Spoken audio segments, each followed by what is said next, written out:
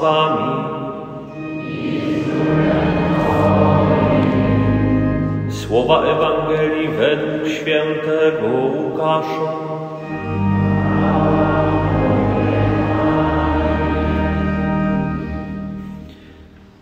Gdy niektórzy mówili o świątyni, że jest przyozdobiona pięknymi kamieniami i darami, Jezus powiedział: Przyjdzie czas, kiedy z tego, na co patrzycie, nie zostanie kamień na kamieniu, który by nie był zwalony. Zapytali go, nauczycielu, kiedy to nastąpi? Jaki będzie znak, gdy to się dziać zacznie? Jezus odpowiedział, strzeżcie się, żeby was nie zwiedziono. Wielu bowiem przyjdzie pod moim imieniem i będą mówić, to ja jestem oraz nadszedł czas. Nie podążajcie za nimi.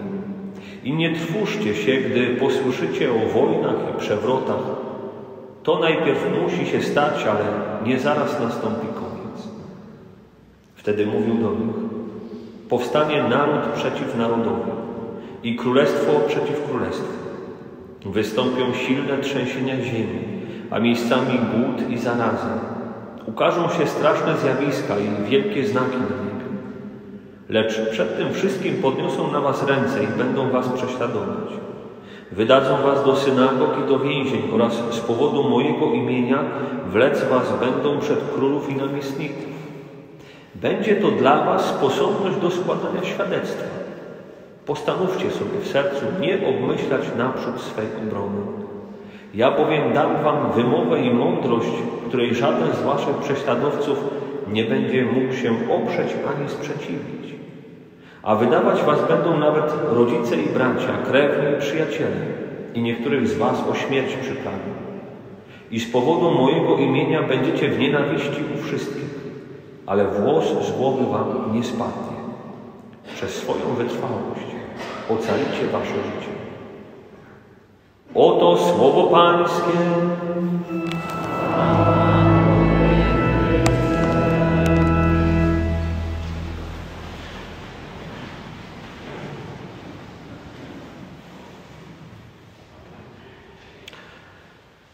Z woli rozporządzenia Bożego każdy człowiek, który pojawia się na tym świecie, tak naprawdę wchodzi w świat, który jest ogarnięty wojną.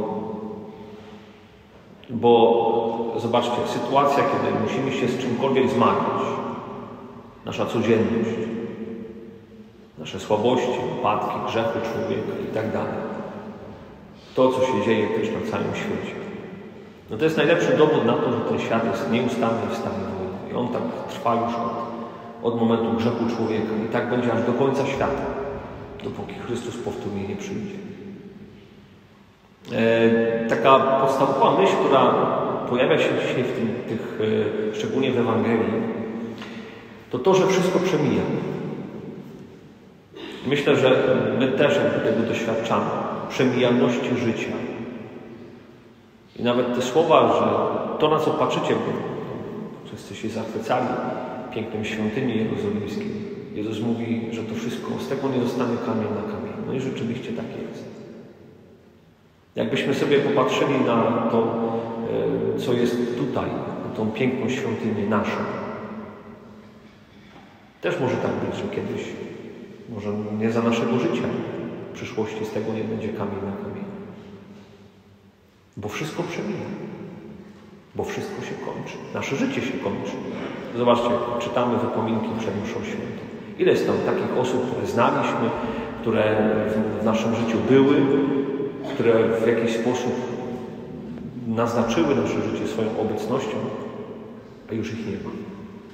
I my też przeminiemy. Nasze nazwiska też kiedyś będą odczytywane przed mszą świętą. Daj Boże. I Jezus nas tutaj o tym mówi bardzo wyraźnie. Słuchajcie, wszystko się musi skończyć. Nie ma innej drogi. Ale jedno się nie kończy. Miłość się nie kończy. Bo Bóg jest miłością. I On nas do tego dzisiaj zaprasza. Żebyśmy zobaczyli, że e, w tym naszym życiu będziemy przechodzili różne rzeczy. I często pewnie przechodzimy trudne sprawy. I też szczególnie w, nie tylko mówię tutaj o tych problemach, trudnościach dnia codziennego, że musimy się zmagać z codziennością, bo to też każdy ma. Ale w sposób szczególny chodzi tutaj o też te trudności w relacjach z drugim człowiekiem. To są te problemy w rodzinach, podziały. Czasami nawet ze względu na wiarę. Czasami ze względu na jakieś tam inne e, rzeczy, które nas dzielą. A Jezus mówi, że to wszystko musi się stać. Czyli, że wszystko to, co nas dotyka, w jakiś sposób jest e, konieczne. Bo ostatnio czytałem właśnie taki piękny tekst, w którym autor mówi, że cały ten świat, który widzimy, jest pełen niedoskonałości. Tam jest mnóstwo rzeczy, które najchętniej byśmy zmienili, albo mamy pretensje do Pana Boga, że On o tym, tego nie zmieni.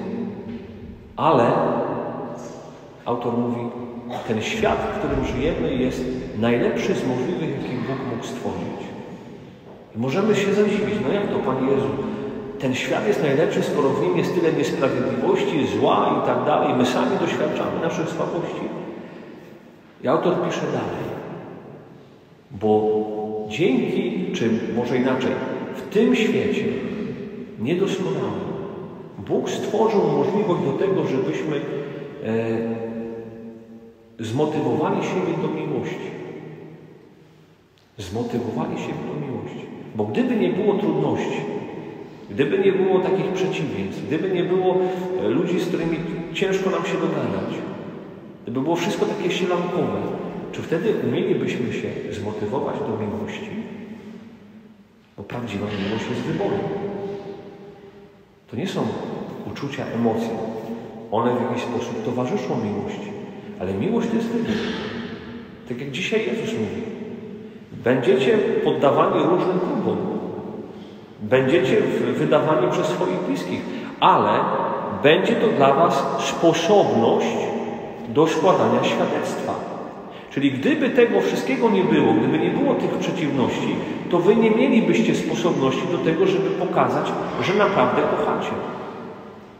A jak czytam to słowa i mam świadomość tego, że jestem człowiekiem wierzącym, że e, kocham Pana Boga, że Bóg jest dla mnie najważniejszy, to z drugiej strony znając siebie samego, moją naturę, to ja wiem, że bez Niego ja nigdy nie potrafiłbym kochać. Nie potrafiłbym tego zrobić. Dlatego, będąc przy Nim, w jedności z Nim, w relacji z Nim, wchodząc w te różne sytuacje, ja uczę się kochać.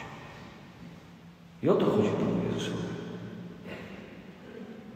On nie chce, żebyśmy cały czas żyli w takim lęku, że wszystko się skończy. Jezus mówi, nie bójcie się tego, bo i tak się to musi stać.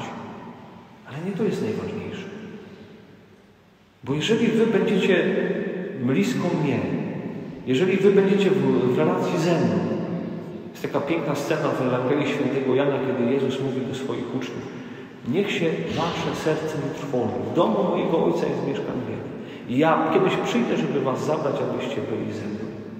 To nie bójmy się tego, bo to wszystko musi się skończyć tutaj na ziemi. Ale to nie jest koniec. Mówi przez swoją, Pan Jezus dzisiaj mówi, przez swoją wytrwałość ocalicie wasze życie.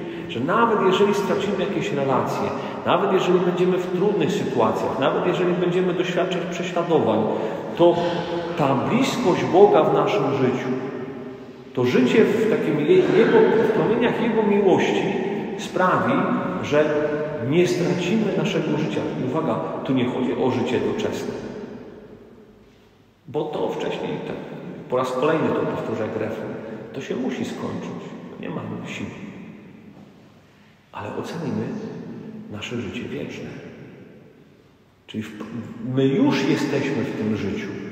Przez naszą wiarę, przez naszą relację z Panem Bogiem, przez to, że okazujemy miłość drugiemu człowiekowi, bo to jest droga, którą pokazuje nam Kościół. Bo my jesteśmy tutaj zebrani przez Chrystusa po to, żeby we wspólnocie uczyć się miłości Pana Boga, doświadczać tej miłości Pana Boga i żeby później, będąc w tej wspólnocie, dzielić się miłością z drugim człowiekiem. Ale miłość, jeszcze raz powtarzam, to nie są czułe słówka. Tu nie chodzi o jakieś tam emocje, o jakieś przeżycia, Tylko chodzi tutaj o to, żeby mieć w swoim sercu pragnienie dobra dla drugiego człowieka. Nawet dla tego, który mi źle życzy, czy źle mi czyni. Dlatego y, taka miłość czynna, codzienna, bez Niego no raczej jest niemożliwa. Nie, nie jesteśmy w stanie chyba tak siebie przeskoczyć. Bez Ciebie nie dam rady, Panie Jezu. Dlatego mając świadomość tego, że wszystko przemija, że świat przemija, że e, my przemijamy, tutaj na ziemi uczmy się kochać i kochajmy z całego serca. Wykorzystujmy każdy czas do tego, żeby świadczyć o miłości.